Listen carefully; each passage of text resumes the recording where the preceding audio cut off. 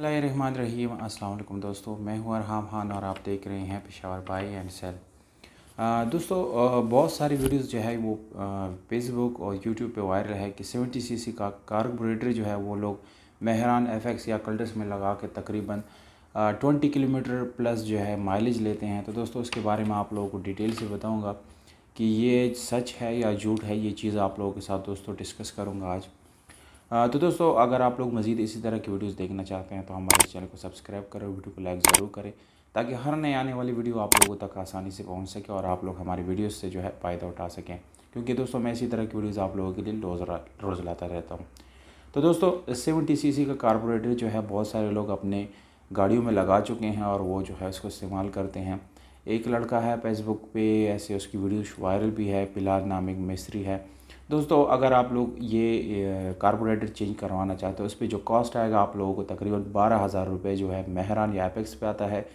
जबकि कल्टस या किसी भी दूसरी गाड़ी में अगर आप लोग एडजस्ट करना चाहें तो उसका प्राइस जो है वो उससे उसी हिसाब से फिर बढ़ जाता है।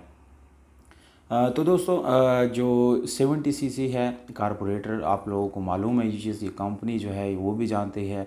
कि सेवेंटी सीसी का जो कार्बोरेटर है, वो सिर्फ़ सेवेंटी सीसी ही के लिए मौजू होता है, काम करता है। यहाँ पर जो लॉजिक है, वो आप लोगों को बताता चलो दोस्तों कि जब आप छोटा कार्बोरेटर इसमें लगाते हैं तो उसमें दो मसले आते हैं। एक ये होता है कि फ्यूल जो है, वो कम इंजन में जाता है। दूसरा जो एयर है, वो भी कम, यानी चला जाता है। क्योंकि अगर आप लोग नॉर्मल फ़िल्टर लगाएँगे, गाड़ी वाला फ़िल्टर तो वो एयर एग्जिस्ट एयर की वजह से जो है, वो कंपल्शन नहीं होता।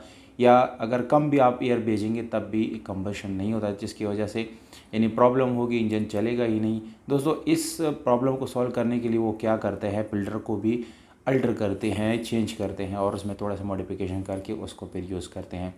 तो दोस्तों, अगर आप लोग एक महीने तक ये कार्बोरेटर यूज़ करेंगे तो एक महीने तक आप लोगों का इंजन जो है, उसका कबाड़ा हो गया होगा। तकरीबन क्योंकि जब दोस्तों फ्यूल इंजन में जाता है तो वहाँ पर इसकी जब जिस टाइम कंबशन होती हैं और उसके जो कम कंप्रेशन रेशो होता है पिस्टन का, वो बराबर नहीं होता, यानी वो इसको बराबर प्रेस नहीं करता, जिसकी वजह से वो जो इसके टर्न्स है राउंड्स है, वो कम हो जाता है। आरपीएम बहुत ज़्यादा कम हो जाता है दोस्तों।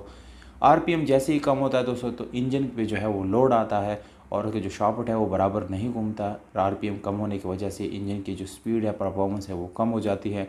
और ये चीज़ मैक्सिमम आप मैक्सिमम आप तकरीबन एक हफ़्ता या एक महीना यूज़ कर सकते हो, उसके बाद जो है आप लोग इसको यूज़ नहीं कर सकते। और दूसरी जो यानी इसका माइलेज है, वो इतना ज़्यादा भी नहीं है, जैसे लोग यानी बता रहे क्योंकि उसमें एक्वेलेंसी नहीं होता फ्यूल का एक्वेलेंसी उसके अंदर नहीं होता और वो यानी बराबर तरीके से उसको फ्यूल नहीं मिलता, जिसकी वजह से कभी फ्यूल कम, कभी ज़्यादा मिलता है। तो दोस्तों, दूसरी बात यह इस पर काफ़ी सारा ख़र्चा भी आता है। दूसरा, आपका इंजन जो है, वो कुछ ही दिनों में ख़राब हो जाता है, ख़त्म हो जाता है। और जो है, फिर आप लोगों को जो है, दूसरा इंजन या स्वेप करना पड़ता है या चेंज करना पड़ता है। दोस्तों, अगर आप लोग गाड़ी को गैस पे भी चलाएँगे तो आप लोग एक के में तकरीबन ग्यारह बारह किलोमीटर जो है, वो मिल जाता है। सुजुकी, महरान एपेक्स और कल्टस की, दोस्तों, मैं बात कर रहा हूँ, यानी 800 सीसी की मैं बात कर रहा हूँ यहाँ पर।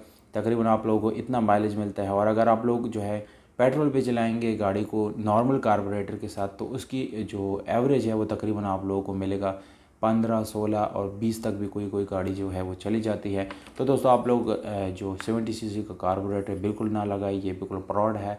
और आप लोग का पैसा ज़ाया इंजन ज़ाया होगा दोस्तों।